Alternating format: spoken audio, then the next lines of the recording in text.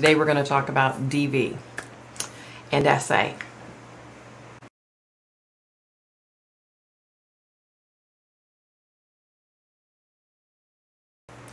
Hey guys, Victoria Paxton here. Thanks for stopping back by my YouTube channel. Okay, so today we're going to talk about a little bit about Amber Heard, um, a little bit about Amber Heard, you know, concerning the civil trial that's going on in Fairfax County. Um, again, you know, Johnny Depp suing her because of the op-ed she put in the Washington Post. Okay, so it's no big secret. I think most people that watch my channel know that I was in a DV relationship and I suffered not just DV but also SEX A. Um, and I, I wanted to say a few things. First of all, if you or someone you love is in a DV situation or an SA situation, you can call the National DV Hotline at 1-800-799-7233. Okay, so, and if you know of anybody that's going through that, you need to help them today, not next week. If you're in a DV or SA situation, you need to leave today. Not in two weeks when you get paid, today because tomorrow might not come for you. Okay, so I spoke about this a little bit on Friday Night Live last about, you know, the whole situation with Amber Heard in court. It's just an act. It's all a bunch of BS. It's an act. I don't believe for one second that Amber Heard was DV'd or SA'd. Don't sue me. That's my opinion. I'm entitled to it. She, however, was accused of DV when she was married to her wife in the past. The charges were dropped, but it was alleged that, yeah. And the entire time she's been on the stand, it's been, for lack of a better word, she's she's trying for, you know, for an Academy Award, but it's hysterical because you can watch her and know that she's faking. She's going, but there's not one tear in her eye. And there are still times when I talk about the DV and SA that I went through that it still makes me cry. Um, you know, the bottom line is the breaks heal, the bruises heal, but that mental and emotional abuse is still in your head. You know what I mean? And it takes a long time to work through that. Um, and I, I just wanted to say, so at one point, Amber Heard testified that Johnny hit her. And then she went up to him and said, you hit me. You hit me. Okay. Had I have went to my ex-husband and said that to him, I know what would come next. I would have gotten my ASS beat so hard. Um, there was one time when I, uh, how do I say this, when I snapped back at him because I was just so over it. And at this point, I at that point when that happened, I knew I was going to leave him. I just was trying to gather a plan and get things together. And after I said it, I was like, I should have never said that. And, you know, I went through a lot because I said that, because I snapped back. Okay. So, you, you know, you would never say that to someone that's DVing you. Um, a lot, you know, people don't really talk about the SA that they go through, but in a large percentage of DV cases, there's also SA. Um, I went through it and it was hard. It was tough.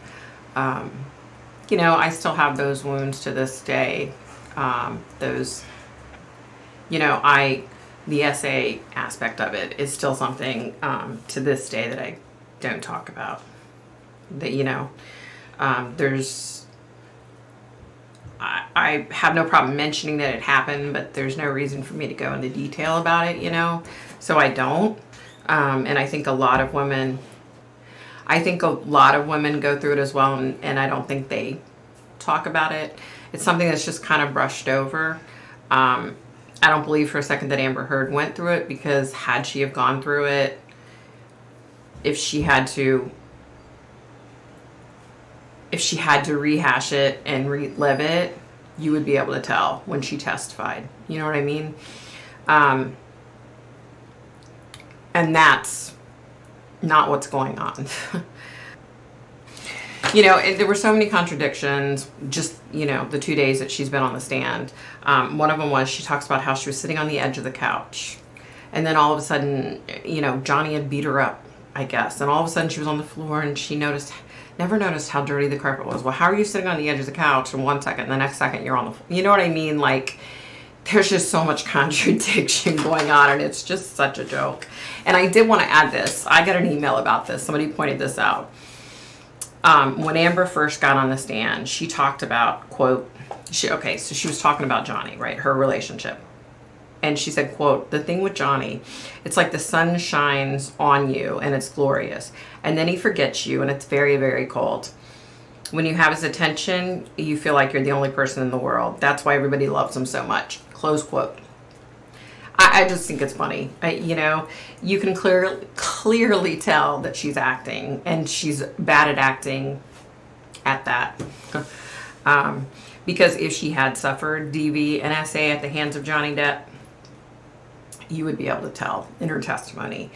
Anybody that's been through DV and SA, you can spot a person a mile away and you can see the signs if someone's been through it. I don't know how to explain it. Um, but you can just see the signs. Don't ask me what the signs are. I, um, I mean, some of the obvious signs, like it would be 96 degrees outside and I would go to work with a long sweater on, you know. Everybody would be like, aren't you burning up? I'm like, oh no, I'm, I'm cold. When really I was sweating to death and burning out, but I had so many bruises on my arms, I couldn't let that be seen, you know. Um, I didn't think that my family and friends knew. I thought I had done this great job at keeping it hidden, but they knew. Um, I found out after the fact. Or the majority of them at least suspected. Um, some of them knew because the night before I got married, he beat the crap out of me. And my friend was in the other room sleeping on our couch. And she tried to bust the door down and she couldn't. It was horrible um, you know, she said, like, I heard your screams. I knew he was hurting you and I didn't know what to do. So I walked down the aisle on my wedding day, bruised from head to toe. I mean, like, serious bruises. I had makeup on and yeah, I should have never walked down that aisle. And I always was, I kept saying like, oh, I'm going to leave him on this day. I'm going to leave him on this day. And that day took forever to come, you know? Um, so if you know of anybody that's going through this, help them get out like today, you know? Um, I was very fortunate that I'm still alive. Um, it could have easily gone the other direction. Um,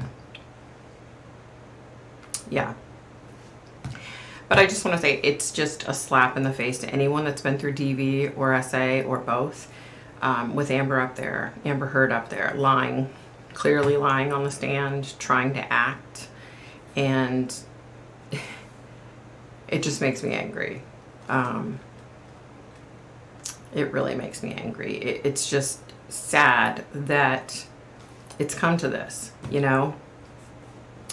The Me Too movement came out, and anybody that was a part of that, that's awesome. But then when you have people at the exact opposite extreme, like Amber Heard, who's trying to pretend like she was abused. And if I'm wrong, I'm wrong, but you can just see it, especially when females are abused. Uh, you, you can see it in their behavior, if that makes any sense. Um, clearly, you know, Amber Heard's been arrested. The charges were dropped, but she was arrested for hitting her wife prior to meeting Johnny Depp. Um, and she, she clearly has some issues. it, it, does, you know, it doesn't take a rocket scientist to know that that woman has some serious issues. Um, And if in fact she was DV'd or SA'd by him, then I feel horrible. And, but I'm telling you, I don't think it ever happened. Um, and I just, you know, I just wanted to get this out because it just really makes me angry when people it's basically belittling everybody that's been through DV. You know what I mean? It's it's just a slap in the face and it just pisses me off, frankly. Um, I feel like going and getting in my car and driving to the Fairfax County Courthouse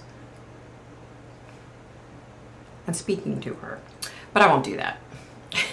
I'm just kidding. I would never do that. Um, I'm sure she's getting enough backlash. That's why she fired her PR team because people are just not believing her BS. So, so if anybody that you love is going through DV, SA, or both, do what you can right now to get them out today because tomorrow might not be there. It's been a shitty week. I've lost two people this week and yeah. So be nice, be kind, stay safe, stay healthy.